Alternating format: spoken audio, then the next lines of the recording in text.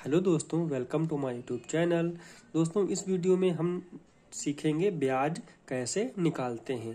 अधिकतर क्या हो, आपने देखा होगा कि कुछ लोग किसी व्यक्ति से कुछ पैसे ले लेते हैं ब्याज पर, ठीक है? और वहाँ पे आपको पहले से पता होता है कि हमको कितने प्रतिशत की दर से इसने हमको ब्याज पे पैसे दिए हैं। कुछ समय फिक्स होता है, फिर आपको उस मूलधन और ब्याज जो होता है, दोनों को मिला के आपको उसको पैसे वापस करने होते हैं।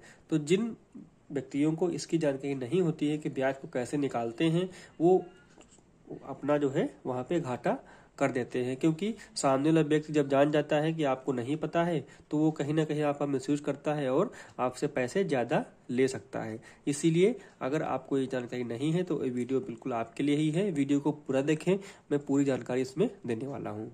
तो दोस्तों, यहाँ पे क्या है? छह हज़ार रुपये का दो प्रतिशत की दर से तीन माह का साधारण ब्याज क्या होगा?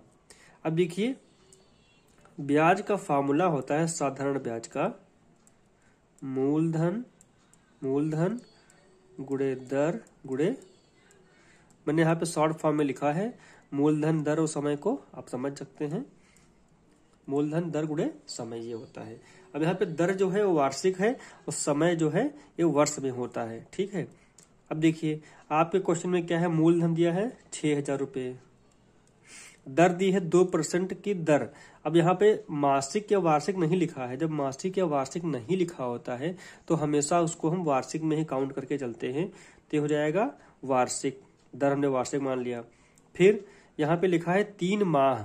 अब तीन माह का है हमारी दर है वार्षिक तो तीन माह को जब वर्ष में कन्वर्ट करेंगे तो क्या करेंगे? तीन से इसको, तीन को बारह से क्या कर देंगे? भाग कर देंगे। ये वर्ष में कन्वर्ट हो गया। तो यहाँ पे हम तीन और बटे में सौ था, ये कर देंगे। और जो ये बारह था, ये गुड़े में आएगा, तीन बटे बारह है तो बारह यहाँ पे आ जाएगा। हो गया। अब इसको आप सिंपली कैलकुलेशन है, कर सकते हैं। देखिए, ज़ीरो ज़ीरो से कर दीजिए। दो ज़ीरो कट गए। दो कम दो दो छंग बारह। तीन कदम तीन तीन दो नीचे क्या बचा? है देख लीजिए, साठ, नीचे बचा दो। अभी भी कट जाएगा दो, कम दो, हो जाएगा तीस। तो क्या हो जाएगा?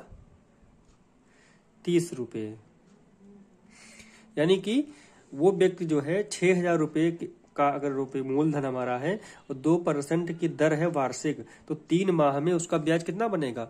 तीस रुपये बनेगा मात्र। ठीक है? और अगर इसी क्वेश्चन को हम जो है, ये तो हो गया हमारा, जब दर हमने वार्षिक रूप में इसको लेके हल किया है। अगर दर को हम यहीं पे, दर को अगर हम मासिक के रूप में ले लेते हैं, तब देखिए उत्तर क्या आएगा। तब हो जाएगा छह हज़ार मूलधन हो गया हमारा, दर है दो परसेंट, और समय हमारा है तीन माह। यहाँ पे दर हमने मासिक मान लिया है कि दो परसेंट जो है मासिक दर है, और बटे सौ। अब इसको कैलकुलेट करिए, ये हो जाएगा। तो साठ गुड़े दो गुड़े तीन। इसको गुड़ा कर लीजिए। ये हो जाएगा साठ दूनी एक सौ बीस गुड़े तीन बारह छत्तीस। तीन सौ साठ रुपये आ जाएगा। तीन सौ साठ रुपये। ये आपका आंसर हो जाएगा। तो आप देख रहे हैं कि अगर दर को यहाँ पे हम चेंज कर दें, अगर मासिक में करेंगे तो ब्याज ज़्यादा देना पड़ेगा, क्योंकि वहाँ पे हर महीने पे ब्याज लग रहा होगा, ठीक है? तो तीन महीने का ब्याज हो जाएगा तीन सौ साठ रुपये। लेकिन अगर दर आप वार्षिक रख रहे हैं तो आपका मात्र तीस रुपये बनेगा तीन महीने का, और एक साल का बनेगा बारह छत्तीस, बारह से मल्टीप्लाई करेंगे तो एक साल का बनेगा ये तीन सौ साठ रुपये, ठीक है? तो आप समझ सकते हैं कि अगर दर वार्षिक है या मासिक है? तो ब्याज में कितना बड़ा अंतर हो सकता है। तो अगर जिन भाइयों को जानकारी नहीं थी इसके बारे में तो उनको समझ में आ गया हो तो वीडियो को लाइक कर दें और ज़्यादा से ज़्यादा इसको वीडियो को शेयर करें अपने दोस्तों के बीच में, ताकि उनको भी इसका लाभ मिल सके। अगर आप वीडियो पहली बार देख रहे हैं तो प्लीज़ चैनल को सब्सक्राइब कर लें, पास में जो बेल आइकन है, उसको भी प्रेस कर लें, ताकि मेरे आने वाली नई वीडियो का नोटिफिकेशन आपको सबसे पहले मिल सके। Thanks for watching. मिलते हैं नेक्स्ट वीडियो में। Bye bye and take care.